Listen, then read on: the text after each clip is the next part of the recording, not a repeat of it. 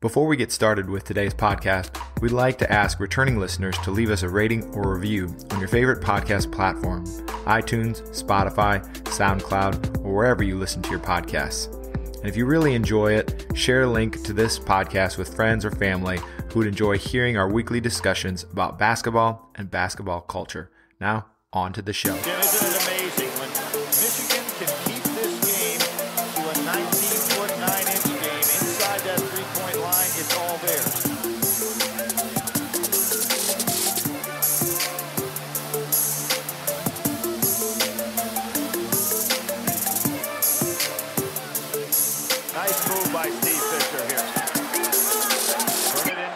Welcome to the 19Nine podcast. We're doing something a little different today. We have been off the last couple weeks, but that doesn't mean that 19Nine's been off. They've had some awesome releases for the start of summer.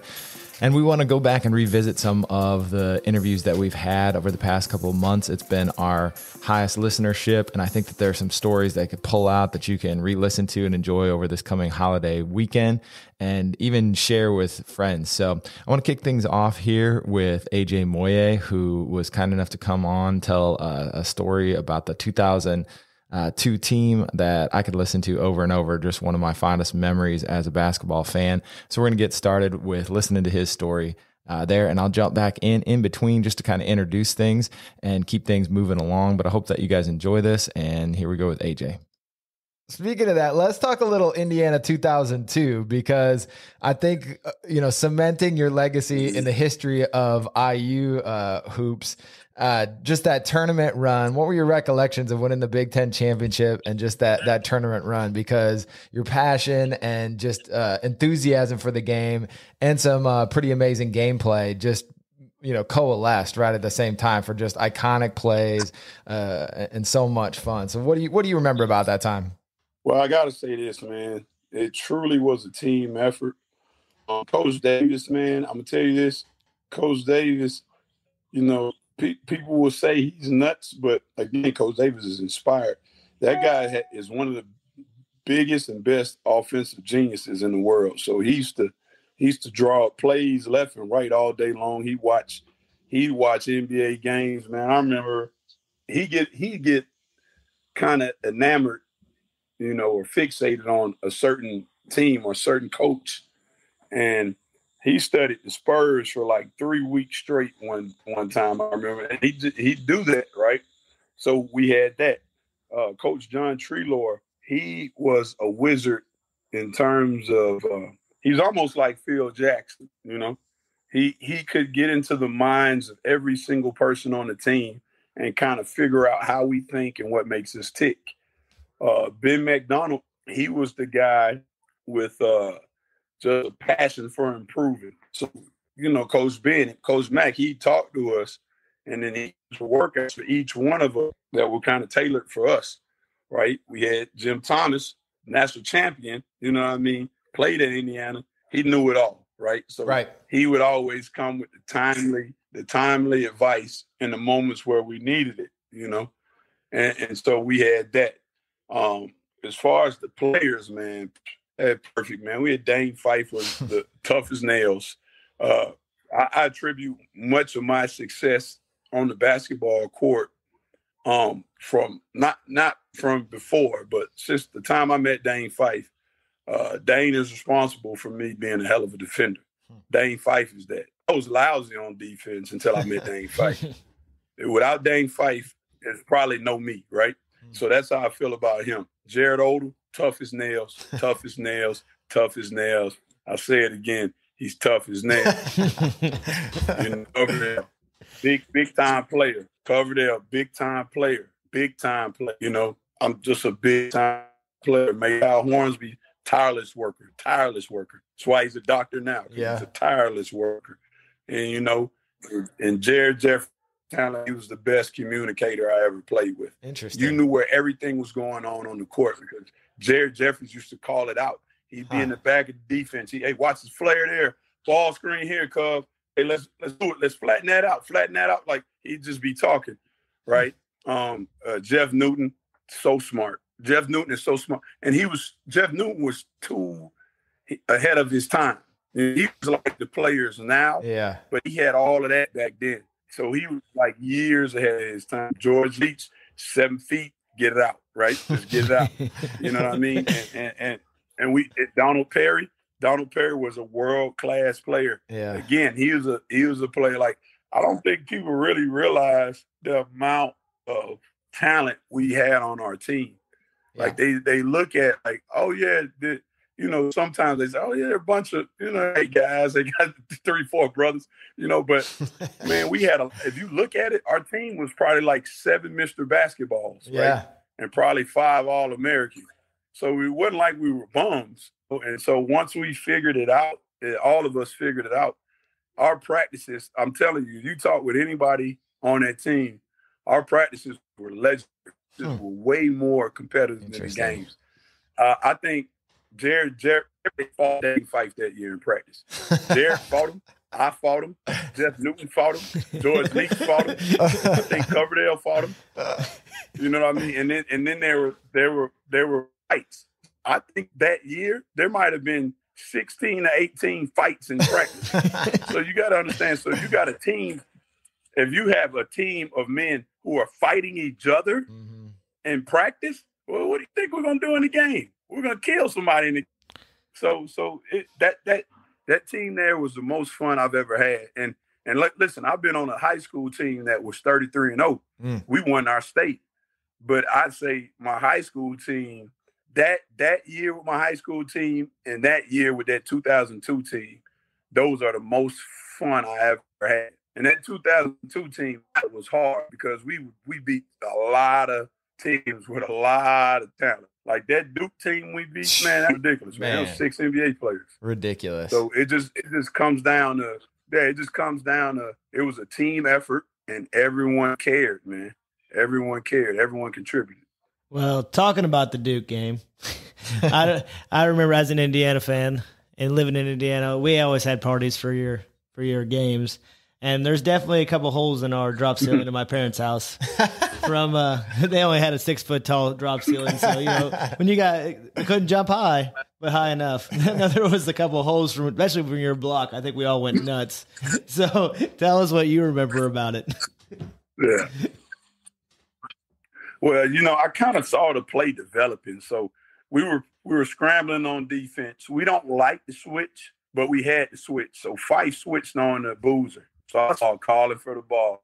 I said, you know what? When he gets this ball, I know he's gonna step baseline and he's gonna try to go up on Fife. I'm gonna fly over and I'm gonna knock the living hell out of him. That was that was that was what was in my mind. you know. I'm just gonna foul the crap out of him, and then he'll get his two free throws. yeah. And then so when I ran over, as I ran over, I jumped up in the air so high because I'm like, yo, he's gonna try to dunk this. I gotta Yeah. get up high enough so he doesn't dunk on me and I can throw this big joker down. Right. And then as I jumped, I just kept going. I kept going. And, and the thing was, it was uh, it was it was almost like I was 10 to 12 inches higher than him. yeah. And I was like, well, I'm just gonna block it. and then I didn't I didn't go like knock it out of his hands. I just went up and put my hand on top, just kind of set him down with the ball in his hands.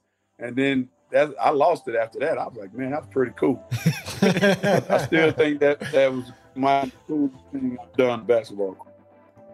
what comes across there is just AJ's enthusiasm. And throughout the interview, what was exciting about his approach to basketball is that boundless energy where he would start in the morning coaching people end his day coaching kids and just the knowledge bank that he's developed. Really hope that he stays connected with the Indiana squad. It seems like he is. And if not, he's going to make a big impact on the game of basketball just with the way that uh, he searches out the right type of competitors and the way that he wants to develop them to enjoy the game and to enjoy life, but to also reach and maximize their potential.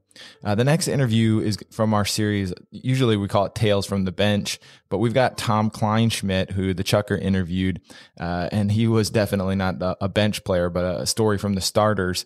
And he talks about time, his time with Chicago basketball and that era when it was absolutely incredible. The number of players and the diversity of talent that came out of there.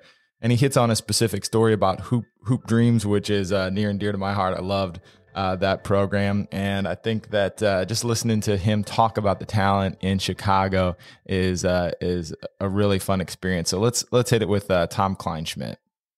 I'm curious about to dig into that a little bit further. Who was kind of maybe the first guy you played against when you were, you know, a little younger and you said, like, oh crap, man, like, yeah, th- th- this is what it's like. Like, this is what big time talent is like. Like, who opened your eyes? Uh, playing against it's tough, you know, because we're always playing against older guys, so you kind of got beat up and stuff like that. But I remember watching William Gates in the super sectional. I was a freshman. It was at Hinsdale. And let's talk William Gates of Hoop Dreams is where he's kind of Yeah. most kind of known by. Yeah, Yeah. So, so Willie Willie was a freshman starting on that great Joe's team, and they played uh, Eric Anderson of DeSales at Hinsdale Central for the Super.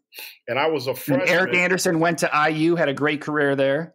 Yeah, yeah. Yeah. And was McDonald's All American, played with the Knicks, rest in peace. And I remember watching that Super, and I remember, man, this kid's a freshman, and he had like 28. And I remember saying to myself, well, man, I, I think I'm pretty good, but I don't know. This kid's, he's a beast, man. I don't know if I can handle him. And then, and obviously, watching Eric Anderson play uh, in our league, uh, didn't play varsity as a freshman. But I remember looking down from the from the balcony and watching him play and say that's another level. Six nine, shooting threes. I was I was like, wow. So those two guys really impressed me uh, as freshmen. And then as I grew up and started playing sophomore, junior year, it's kind of levels of play. You know, the the the pro guys really do a remarkable job with Chicago young guys. And I mean Randy Brown, Tim Hardaway, JJ Anderson, these legends in Chicago really take their time to help the top tier high school players or college players develop. And that's what they really did to, for me. I mean, Kenny Redfield from Weber, these all these guys that had great college and pro careers, whether it be in the NBA or overseas, we all owe them a lot of credit. First of all, they allowed us to play with them, which is the big thing. I mean, these guys are huge stars.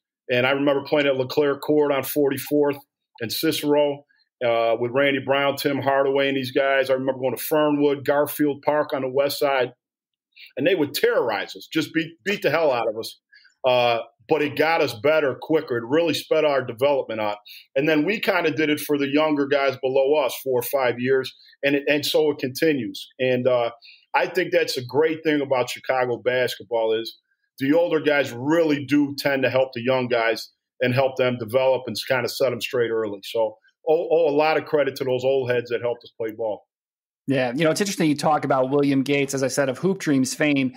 And, you know, I, I've heard people tell stories about William that, like, when he was a freshman and sophomore, up until that injury, that dude was on the fast track. I mean, he Yeah. was legit. Um, Yeah, he was. and it's a shame. six, Uh, yeah, yeah, six foot guard. He's from Cabrini Green. Remember getting a friendly with him and playing with him. He had a terrible knee injury. Still, still had a really nice high school and college career at, at Marquette. Just that, that Yeah. knee did bother him. Did bother him. Yeah. And so let's kind of extend that further because we've talked about kind of this broadening of your basketball life, right? From the neighborhood to now Chicago to the north side, then all of Chicago. And then, you know, it's, it's getting bigger and bigger as you start playing in the Catholic League. And so you're seeing more South Side guys and guys from the suburbs. And and then you kind of start to go to kind of the national scene and you start getting some of the camps in the Midwest and maybe some national camps. And Yeah. that class of 91, there's some real standouts there. You got Glenn Robinson, Jalen Rose, Cory Alexander, Chris Webber, Travis Best. These are a lot of names that are known to you know basketball fans.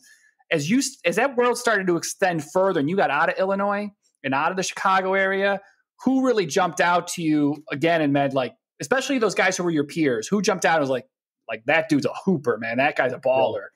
Well, obviously, you know, a lot of guys you named, everybody that you named. I mean, we had a AAU team uh, that it, it will rival any team right now. It was Juwan Howard, Glenn Robinson, Michael Finley, myself, uh, Sherell Ford, Donnie Boyce, and that was one AAU team. Now it's spread out with all these teams, but we would travel uh, and play in Indiana uh, and, uh, or Ohio, and we kind of stayed in the Midwest. But the first t- taste I got was Nike camp at Princeton, New Jersey, at Princeton. When I saw Chris Webber really play in a structured system against the top 20 or 30 players in the country and how dominant he was, I mean, it was unbelievable. Uh, Grant Hill was another guy that just, he was a year or two ahead of me, but when those guys were specimens, man, and they were pro players, uh, when I was coming up at that Nike camp. Jason Kidd was unbelievable. Uh, but guys in my my uh, class, which I think 91, we had 10 kids in the top 100 in Illinois. So we, we had a great class in the state. But Glenn, Chris, Juwan, Jalen, uh, Jimmy, all those guys were great. But, you know, Michael Finley wasn't that, you know, he was like ranked in the 70s. Damon Stoudamire was in like the 80s. These guys that had unbelievable college and pro careers that you as a player, like, you'd look at the ranking like, man, that guy's 85. Like, he's way better. He's like top 20 player. Howard Nathan rest in peace, was an unbelievable player. He was ranked pretty highly, but you know he didn't get as much love because he was down in Peoria. He was McDonald's All American, but you know just total unbelievable great player. So, uh, but to answer your question, guys like Finley uh, and Damon Stoudamire really jumped off the mat at you when uh, maybe the scouts, so-called scouts, didn't really see it at, at the time. Yeah, it's interesting. You know, we being two Chicago guys here, we talk about Michael Finley, and you know, people you know, outside of Chicago, they don't know maybe that Finley was arguably the third best guy in his high school team. I sure, mean, Sherell Ford was the first round draft pick of the yep. Supersonics. This is the same high school team. Donnie Boyce goes yep. to Colorado. Is the yep. big is the Big Eight freshman of the year, um, and he's an NBA draft pick. Finley was probably the at the same high school, the third best of those three, and he ends you know obviously ends up having a great career and a lot of success. And it just the, the, the depth of talent in Chicago in your era was pretty sick. no yeah, question. You know, even downstate, you know, they had Danny Cross and those guys, Howard Nathan. I mean, it, there was 10 guys in the top 100. So 10% of the top 100 was from Chicago or Illinois. It was unbelievable class. I love hearing about Chicago in that way. 10% of the the top 100 from Chicago. Uh, it was just a different era for Chicago hoops, but what I took out of listening to Tom talk was the community aspect of it, how the older guys brought up the younger guys. You know, when I see special pockets of basketball over the eras, it seems like that is something that is really a, a huge part of it. That there is somebody that orchestrates things that that creates that culture and then the players take over and you know form a community with one another so that they perpetuate the, the talent and the work ethic. And you know you talk they talk about heat culture right now. Well heat culture is really just a bunch of individual decisions but it starts with kind of a, a grain of an idea and then everyone works hard together to keep that going uh, it, it's hard to it's it's hard to do maybe the hardest thing to create that that culture and it's something that can be fleeting too you know chicago has uh, doesn't stand out as much, and maybe that's because the prep schools or or you know other places magneting those kids out of the, out of the city. Same with New York. Um, but it doesn't mean it can't come back, and there might be a coach out there right now that's working to do that. I've got a Charlie Miller story here. Charlie was so much fun to talk to. I ended up talking to him on Easter morning. Uh, he was kind enough to to talk to me about basketball on that day, and was just such a, a blast. He has such an enthusiasm for it. Uh, loved just his perspective on how to transmit ideas to, to young people, not not just translate for them, but to to get it like an earworm really into their into their brains. Um, but uh, let's let's listen to a little bit of Charlie here uh, talking uh, uh some some Bob Knight's stories. Okay, let's let's talk a little bit uh, about coaching. Let's start with Coach Knight. What's uh, what's a favorite story that or takeaway from Coach Knight uh, that you still okay. that you still use today? Okay, so um, one famous takeaway, I would say, um, I got several. I'm trying to see where I want to go here because they're all good. They're all good stuff. All good stuff. Um, he would say, "I have forgotten more basketball than you guys would ever know." yes, that's so great. No doubt. Right? Yeah, he, he, would say that, right? Yeah, yeah. He would say, um, another one because because there's one I want to give you that that pretty much is why I'm doing what I'm doing. Um, what's another one? Uh, oh yeah, interesting. He would uh, give me a high school in Jasper. It's it's just Jasper Jasper High School. Yep. It's only one. That's it. Okay, give me give me the give me the right give me a rivalry. Uh, we got Du Bois, the Jeeps. Okay, okay, check it out. Du, du Bois, right? So so so say you're in practice there, and you made a mistake. You, you're getting ready for Du Bois. Okay he might say something like, uh, Aaron, you know what? Du Bois gonna kick your. You're like, first of all, he's referencing a high school in your area Yeah, yeah, okay. as you're getting ready for like Michigan State. Right. This this ain't you know he'll say this ain't Killian Charlie. You know like Killian was a high school rival. This ain't. I'm like, huh? Yeah, What? Where'd you come? What? That's pretty impressive, man. I like that. Right? You know, um, but the the the biggest one that planted a seed, man. I was working this basketball camp, and uh, I don't know why he said this to me. He said, "If you ever want to learn how to do something, Charlie, you got to learn how to teach it." Mm. And he just walked off. I was like, "Okay." Yeah. And I was like, man, I promise you, 11 years in as a player development, that is why I'm doing what I'm doing. That's awesome, man. You have to learn how to teach. He said that to me walking off. Whatever you want to do, if you want to do it well, you got to learn how to teach. That's a that's a mic drop moment. It is. Bro, I'm telling you, when he said that to me, I didn't make sense at 20, 21. It didn't make sense until I was like about 30 something, Hmm. to be real with you. Love the the mic drop moment aspect of that. You you got to know how to teach it. Uh, just a, a great thing to to say to Um, I think that there are all the aspects of a great teaching moment in there too. He's knowing something. He has a relationship with the player. He knows something that they didn't even know that he knew about them. Brings that in as the hook to what he has to tell them and to communicate to them. There's just a lot of insight and just a lot of uh, institutional knowledge that he had at that point to be able to communicate in that way and to connect with his players on a deeper level.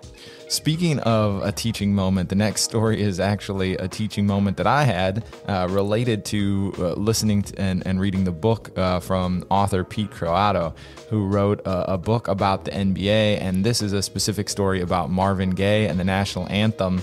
Uh, that I got to uh, use in a, in a choir class. The students had never heard the song, and uh, you'll hear a little bit about how that how that went here. So let's take a listen to this from Pete Croatto's interview. Got another kind of a, a side sidebar story here, but it'll circle back to uh, the Marvin the Marvin Gaye song. So I, I read this Okay. uh, part in the book about Marvin Gaye singing the national anthem at uh, at the All Star game, and uh, I have to substitute in the choir class at uh, the middle school here, and we're running out of, we're out we're out of time, and I'm like, what am I going to do? And I had just listened to this chapter. I'm like, you know what? I bet none of these kids have heard this version of, of the song, and so we, we pop on YouTube and we all listen to Marvin Gaye sing that, and it was such a great great little moment after listening to that chapter because it's fascinating uh, just how how kind of again you you wrap that story around how the NBA is changing with the culture and it does. It still seems, uh, you know, very fresh the way he the way he sings it. Not as radical as I'm sure it seemed at the time, but well, I mean, I'm curious, like where you know what that that story meant to you, or how you even decided to to include that that in the book. Well, that came well the sto- the the Marvin Gaye story, um, or or rather, yeah, the, the Marvin Gaye anthem to me Mhm. is is the pivot point in the book because that to me is the is the line between the old NBA and the new NBA, and the story the that chapter is actually based a lot on an article that I wrote for Grantland back in Ah. 2013. Um, Moment of silence that, there. Uh, pardon me. Moment of silence for Grantland. Yeah, I, I, I love that site. Um, my, that was Mar- yeah, that was my first big story, and you know that the Marvin Gaye piece was you know wrote for Grantland, and and after I wrote that story, I thought, okay, well, there's there's a lot there's a there's a lot here I, I couldn't put in. There's a lot here that there's also a lot that signifies the the change of the NBA, all, not only from what I've seen, but also from the two dozen people I talked to who actually said like, yeah, this is a pivotal point. So that story was really the really marked the beginning of me thinking of a book, thinking of okay, well, this there's a book here. Um, so yeah, that's so that so that story, um, or rather that anthem, I should say, Mm. is important on a couple levels because a, I think it's a marvelous anthem. I was I was honored to be able to write about it and to be able to kind of just tell the the the how to um, or the the origin story um, or one of the people to tell the origin story, I should Mm. say. Um, but to me, that that that writing that chapter and then talking to all these people who were there made me think, you know what, like there's this this anthem was more than just a great anthem. It really marked the changing the changing of the NBA. It marked the it marked a, a, tipping point for the NBA to become a league that that that valued entertainment and a good time, and to and that wasn't going to shy away from being a quote unquote black uh, league. It was it was not going to like hide from it. It was going to embrace what was on the floor. And to me, Marvin Gaye's national anthem um, at, at that All Star game is a pivotal um, uh, is a pivotal moment for the for the for the history of the NBA. Um, and I also think it's a damn good anthem. But I'm curious, what do the kids think of it? they, they liked it actually. It's it's yeah. so fun. You watch people. I mean, Marvin Gaye is undeniably like. I, I mean, I told him I think he's got. I don't know if he, he's not my favorite singer ever, but right you could argue that he's got the best voice ever. Like he just, yeah. it's just, un, it's just undeniable to anyone. And you know, it's choir class, so they're they're enjoying it. But it's fun because, the, of course, the anthem is a bit in the, the news for controversy, and sure. and to to tell them like, look, this was controversial at, at that at right. that time. So you know, there there's always a, a way to use uh, you know moments to to politicize things, and and ultimately, what you're trying to do is express yourself and try to mm-hmm. move the, try to move the conversation in a in a positive direction if possible. And I mean, I think I think that's what he does. He comes out there with swagger and his sunglasses on, you know, able to be who he is and just opening up, uh, you know, eyes. Some of the people are going to, uh, you know, reject it, but a lot of people obviously embraced it and it, and it moves the conversation and, and culture in a, in a positive direction, I think. Absolutely. I mean, I think what's important about that anthem is that, and, and, and Marques Johnson um, told me this and, and and, and I and I haven't forgotten it. Like that anthem represented what was on the court. It mm, represented the yes. black NBA. Yeah. And you know, for years the NBA had trotted out like, you know, kind of. I think you said Pat Boone, Pat Boone before.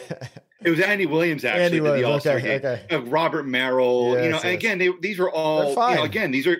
Yeah. yeah they're great singers, yep. and they're and they're you know they're they're nationally internationally known singers, and but but they but they didn't represent what was on the court, not only just in terms of the, the, the racial dynamics, but also the style. Like I don't know. I mean, I, am I'm, I'm certainly no um, musicologist, but when I think of Andy Moon River Williams, I, I, don't think of a Magic Johnson fast break. No. I don't think of I don't think of the, the NBA. I but to me, what Marvin Gaye brought uh, brought to that anthem, that to me is just is the NBA. It's it's it's soulful. It's beautiful it's poetic, it's passionate, and again, it, it's it's it has all these musical elements that represent black culture mm. and it just it worked it was the right song for the right moment and you're right people got upset about it but those it's funny if you if you look back at the um the sports columnists you yeah. know kind of venting uh uh, about that. it really it looks so foolish. Uh, I mean, it, it it's so it, it, those comments have not aged well. um, but that anthem is is iconic. It's yeah. going to be around for another. It's going to be around forever. It's got it's got middle schoolers still bobbing their head, so that's that's positive. that's I'll, I'll, ta- I'll take it know? as a, I'll take that as a win.